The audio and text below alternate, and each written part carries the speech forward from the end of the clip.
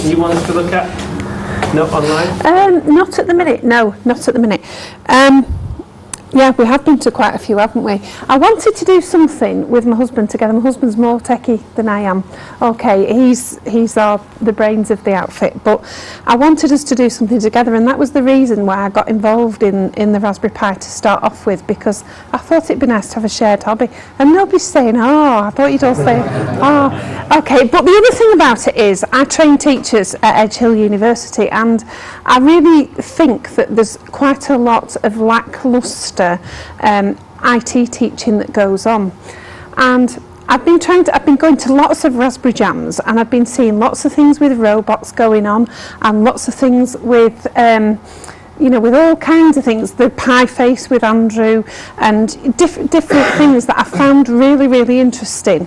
But for me, I keep thinking, how am I going to get this to a year seven pupil? Okay, how am I going to get year seven pupils interested in this? And that stemmed another train of thought. And I thought about one of my hobbies, which is genealogy. Okay, for those of you that don't know what genealogy is, it's tracing your family tree. And one Sunday afternoon, we had a bright idea, didn't we? We sat down together. Oh, it's like the coffee advert, this, isn't it? We had a bright idea, and we thought, right, we'll go and have a look and see if we can get the Raspberry Pi working with genealogy to see if we could get it up, up and running and actually trace our family tree on the Raspberry Pi. Now, this is something else that brings me to why I've got nothing to show you because my son um, is away at the moment. He's gone away for two years and he's taken all my SD cards with him to take pictures. So I won't see him for two years. So I've no Raspberry Pi because I can't bring it to show you. But what I did want to show you was that people create masses of boxes of family records and they carry them around with them to various you know organisations. And I thought it would be a tremendous opportunity to teach e-safety to children. Because one of the things that banks ask for are things like your mother's maiden name and different bits and pieces like that. And I thought it would be really good to use that as a principle to teach children about keeping your information safe because what do they do when they've done the family tree? They publicise it on Facebook, and I just thought it was really, really interesting. Okay, and that's my contribution to this evening. And we spent the Sunday afternoon, didn't we, trying to get it up and running. Well, Dawn set me a challenge that the organisation that, organisation that we belong in, there's a lot of people who are elderly and they don't have a few hundred quid lying about for a laptop or a, a desktop or so on. But they are interested in family, tracing the family tree. And so they always have to go to family history centres where they, they have access to PCs and so on. And we figured that they probably could afford 25, 30 quid rather than two or 300 quid. So if we got a, an SD snapshot of something that could help them to do their genealogy, and we found a product called Gramps online that's a Linux product. Yeah. In fact, it's quite it's open source and so Gramps. Gramps. As in Yeah. grandpa, Gramps.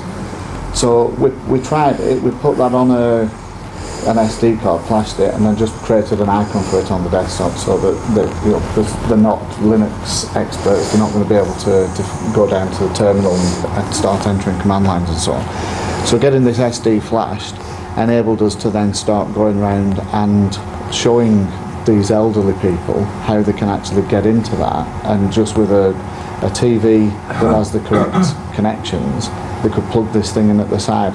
And if you go to somewhere like Sainsbury's get some velcro strips that are double-sided tape you can actually just stick it to the, the side of their video cabinet, cabinet set it up so that they can switch across get their uh, router that they, some sort of router that they typically have to be able to get um, Sky or NTL or something plug it into that and they've got a constant connection to the internet through the television as well as do the facility to, to do the genealogy.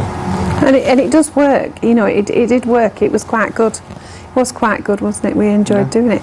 And the thing was, what was really annoying is a couple of weeks afterwards, I was going down to London with Alan to um, to an event down there, and I went into a shop, and after having spent two two three hours, was it figuring it out one Sunday afternoon. We bought a magazine and it was all there in the magazine for us. I was so mad. I was so angry that it was there in the magazine. But there you go. So that's our contribution to the this evening. I'm sorry I nothing to show you. one other thing? Yeah.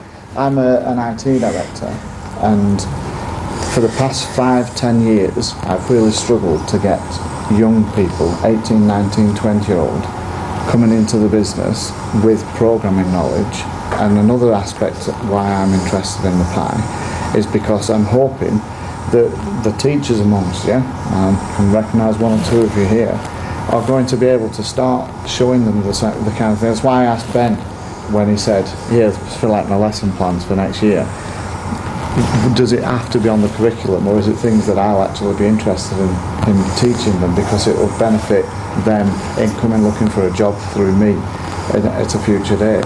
And there's such a disparity between what's taught in school and the syllabus of ICT that hopefully changing it into a computing or computer science focus will actually bring back some of the stuff that I, I got, I can't remember who it was that mentioned earlier that they they were into computers at the very early age. I got lent, lent one when I was 16. I'm now 49, so that was a lot of years ago, 19, 1980, and it was a, a Sinclair Spectrum, uh, not a Sinclair Spectrum. It was a Radio Shack TRS-80. You probably don't even re- remember one of those. Yeah, I did Yeah. CSE grade one my Right. CSE. And I got lent uh, a monitor which had an actual something like 8 inch disk drive in the side of it and a dot matrix printer that woke everybody up whenever you printed it. So if you accidentally printed a, pr- a listing of a program, people were awake for a long time.